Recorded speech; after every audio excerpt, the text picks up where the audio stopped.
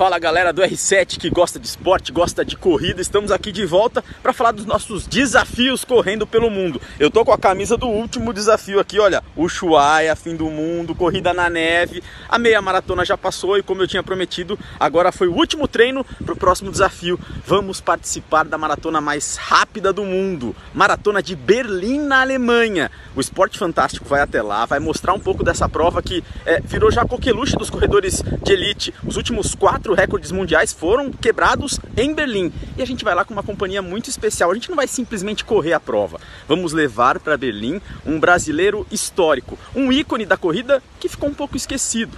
20 anos atrás, Ronaldo da Costa vencia a maratona de Berlim e quebrava o recorde mundial. Isso mesmo, um brasileiro recordista mundial de maratona. É, não são só os quenianos, não.